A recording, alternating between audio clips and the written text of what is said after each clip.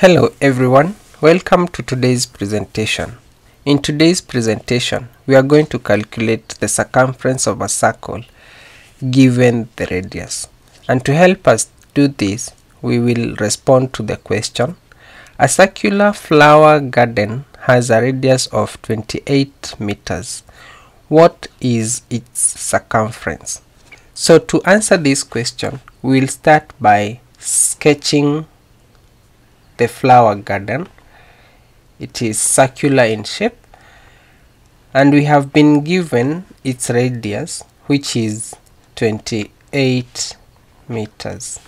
We know that calculating the circumference of a circle given its radius we will need to have the known formula which is the circumference of a circle is equal to pi which is our constant and then multiply by twice the radius.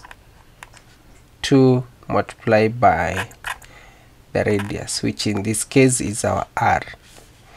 So we know that pi is given by a constant which is 22 divided by 7 and we know that our radius is equal to 28 meters so substituting in the values we have 22 over 7 multiplied by 2 and then multiply by 28 meters. So simplify your expression by crossing out common numbers.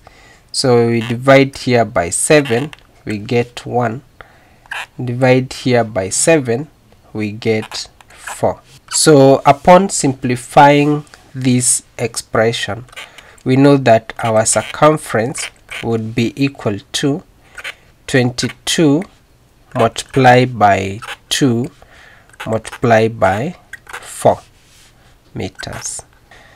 So in this case we will have 22 multiplied by 2 gives us 44 then this one multiplied by 4 meters to get the total circumference. So in this case 44 multiplied by 4 we will get 6 carry 1 16 then plus 1 we get 176 meters.